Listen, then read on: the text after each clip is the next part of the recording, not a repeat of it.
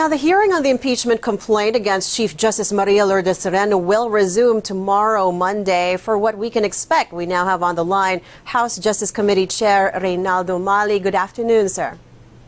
Hi, good afternoon, Rain. Uh, I'm sorry I couldn't join you in the studio, but uh, anyway, uh, I said that I need to be uh, connected to you uh, this particular instance. Uh, good morning to everyone. Well, I appreciate you're, you're joining us here anyway. Um, you came straight from Davao. We appreciate the time. So you're continuing with the hearing, uh, even if there had been already calls that, uh, uh, even from Sereno's camp, saying that they would prefer that the House Justice Committee just speed through the uh, proceedings and uh, transmit already the impeachment case to the Senate. Um, what are you What are you expecting for uh, tomorrow's hearing? Uh, I wish I could also uh, expedite all of this. Uh, as I earlier pointed out, I wanted to finish this by end of December, but the schedules of the justices did not allow us to do that. Anyway, for tomorrow we expect uh, three judges, justices, I mean, uh, to attend the committee hearings.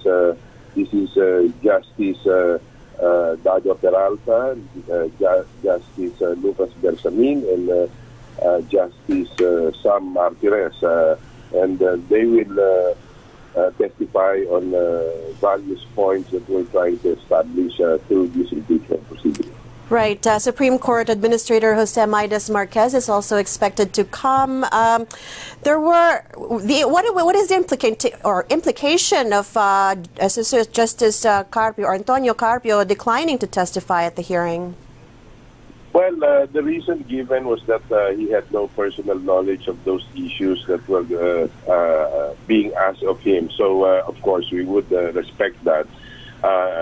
because as for me, I already have uh, elicited that uh, particular uh, point of information that I wanted from him, but uh, I wouldn't know if uh, the other members of the committee would want to ask questions from him too. And so uh, we will, I will present that to the committee tomorrow, and hopefully we can also resolve that whether or not to invite him again or to just let it be. What do you if do you think the testimonies that have been covered so far um, is enough to determine probable cause to impeach the chief justice? So far, out of the allegations against Sereno, uh, have they all been covered in the hearing?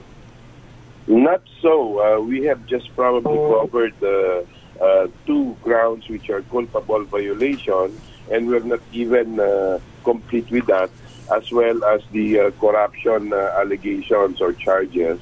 And uh, again, we are uh, not yet uh, through with those. And these meetings, in the next two or three hearings, we hope to be able to close these particular grounds. And then we will proceed with two other um, grounds, which is uh, other high crimes and betrayal of public trust. So uh, we uh, would expect the committee to cover about um, probably eight or nine or even ten hearings uh, to uh, uh, complete the the all the allegations before we can we can put this into a vote. And uh, among the members of the House Committee on Justice, do you think you have enough votes to be able to transmit the case to plenary? Um, is uh, uh, is the failure to attend by uh, Chief Justice Maria Lourdes Sereno um, going to sway any of the votes? Um, uh, I think, you know, this is a great opportunity for the Chief Justice to really uh, uh present her side because what we are hearing at this point in time is just one side of the coin. And uh, if there is nothing that we can uh, get from to refute any of these uh, allegations and or uh, matters that have been established in the committee, then uh, I think, uh, uh, and uh, from and based on my my conversations with the other members, and considering also that we have a supermajority in in the House of Representatives, I think there will be sufficient votes to be to impeach her uh, if uh, uh, I will be frank and candid about it, even at this point in time. Well, we do appreciate your being candid. Uh, and again, that means you're confident that there will be uh, probable cause to impeach Sereno from based on the votes uh, that you might or may already have in hand. Uh, you're scheduled to end deliberations by March, and at plenary, 200 or only a third of the 293 um, members of plenary uh, needed to actually transmit the vote to the Senate. Uh, you are confident about uh, March ending, as well as the at least uh, 97 votes uh, to transmit the impeachment case. Well, uh, yeah, based, as I said, on the supermajority and uh, based on the pronouncements of the Speaker, I guess uh, that will uh, not be uh, difficult to, uh, to obtain.